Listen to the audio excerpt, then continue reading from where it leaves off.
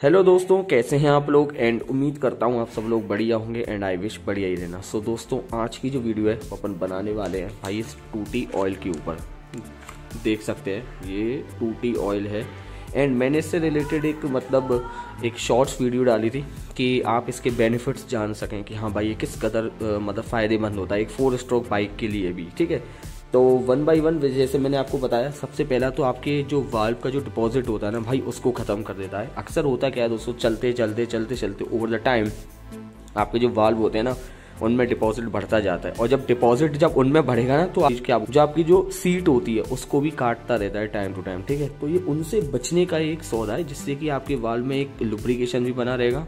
ऐसा नहीं कि बिल्कुल ही ऑयल चलेगा, एक लुब्रिकेशन भी बना रहेगा और मतलब स्मूथ फीलिंग आएगी इसको जब आप चलते हो। और ये चीज़ तब और ज़्यादा फ़ायदेमंद करेगी जब आप भाई जब लॉन्ग रूट पर जा रहे हो, जब आपने मान लो डाल, डलवा लिया हज़ार किलो, हज़ार का पेट्रोल या मतलब और आपको जाना है कम से कम सात सौ, आठ सौ किलोमीटर लंबे दूरी के लिए तो आप एक पुड़िया डलवा लो और भाई आपका जो वाल्व का काम है ना, ऐसा स्मूथ काम करेगा, बहुत ही बढ़िया। तो पहला रीज़न तो हो गया ये, इसको डलवाने का, ठीक है? मैं खुद मतलब मैं तो बहुत बार यूज़ कर रहा हूँ तो मैं सोचा इससे रिलेटेड वीडियो बना लूँ।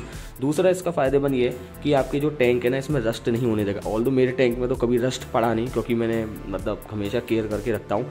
लेकिन अगर कोई बंदा लंबे समय के लिए बाहर जा रहा है ना तो मैं उसको ये एक सलाह भी दे सकता हूँ कि भाई, इसमें ना डाल के चला जाए और घुमा फिरा दे, बिल्कुल, जिससे कि इसमें टैंक में कम से कम रस्ट नहीं पड़ेगा। अगर टैंक में अगर रस्ट पड़ गया तो ऐसा लंबा फटका पड़ेगा, फिर ये आप भी जानते हो। और अगर उसमें एफ़ वाला टैंक है तो और भी ज़्यादा, ठीक है? दो फ़ायदे इसकी हो गए। तीसरा फ़ायदा, अगर आपके पास बी एस बाइक है, या जो एफ़ आई फ्यूल इंजेक्शन वाली बाइक्स होती है ना, उनके लिए तो ये और भी ज़्यादा फ़ायदेमंद है। कैसे? क्योंकि भाई फिर लगे हाथ ना, वो आपकी जो इंजेक्टर है, उसको भी ल्यूब करता हुआ चलेगा, उसको भी क्लीन करता हुआ चलेगा। क्योंकि ओवर द टाइम यार, समय के साथ साथ कोई भी चीज़ सेम नहीं रहती, वो बिगड़ती ही बिगड़ती है। लेकिन अगर आप उनके साथ थोड़ी सी प्रिकॉशन लेके चलोगे ना तो वो चीज़ें बहुत फ़ायदेमंद करेगी। ठीक है? तो ये फ्यूल इंजेक्टर को वाल्व गाइड को तो खैर वाल्व को तो खैर करता ही है, सही बिल्कुल। और लेकिन आपके साथ है फ्यूल इंजेक्शन जहाँ जहाँ से जो पेट्रोल का फ्लो चलता रहेगा, वहाँ वहाँ से उसको क्लीन करता हुआ चलेगा। ऐसे बहुत से लोग इसका इस्तेमाल करते हैं, जब वो लॉन्ग रूट पर निकलते हैं थोड़ा सा ज़्यादा पेट्रोल डलवा लेते हैं तो इसको डालते हैं। इसी को मद्देनज़र रखते हुए क्योंकि दोस्तों फ्यूल एडिटिव भी आते हैं, जो जैसे लिक्यूमोली का आता है फ्यूल एडिटिव उसको अगर अगर आप इसमें पेट्रोल टैंक में डाल लोगे पेट्रोल के साथ तो वो कहीं ना कहीं आपके जो पेट्रोल के जो ऑक्टेन होते हैं ना, उनको बढ़ा देता है।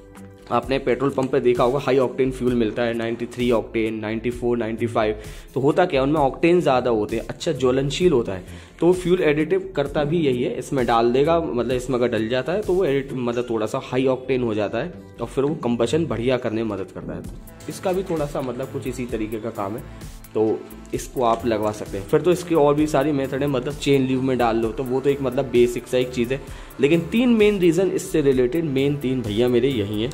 इसका एक और बेनिफिट जो मैं आपको बताना चाहूँगा, ये एक तरीके से आपके जो इंजन के अंदर जो मतलब जो क्लीनिंग प्रोसेस है ना, उसको भी मदद करता है। अगर कोई बंदा इसको एज अ, क्या बोलते हैं, ये जो आजकल लिक्की मोली के और एब्रो के वो आते हैं ना, जिससे लिक्विड जो फ्लश करते हैं इंजन फ्लश करते हैं, उसके तौर पर भी आपको इसको इस्तेमाल कर सकते हैं बिल्कुल, क्योंकि इसमें डिटर्जेंट फॉर्म थोड़ा सा फैक्टर वाला ज़्यादा होता है। जिससे कि मतलब अच्छे से क्लीन कर पाता है इंजन के अंदर के पार्ट्स को। तो अगर कोई बंदा फ्लश के तौर पे भी इस्तेमाल कर रहा है ना तो उसको ये बिल्कुल कंसीडर कर सकता है। इसमें अच्छी चिपचिपाहट है भाई।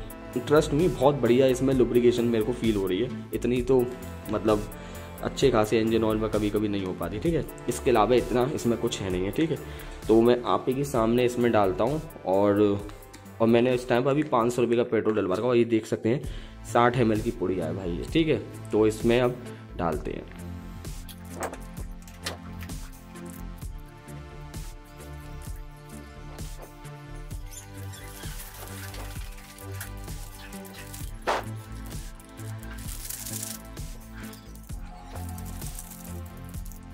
तो उम्मीद करता हूँ आपको ये वीडियो हेल्पफुल रही होगी। अगर हेल्पफुल रही हो तो दोस्तों, प्लीज़ मेरे चैनल को लाइक, शेयर, सब्सक्राइब ज़रूर करें।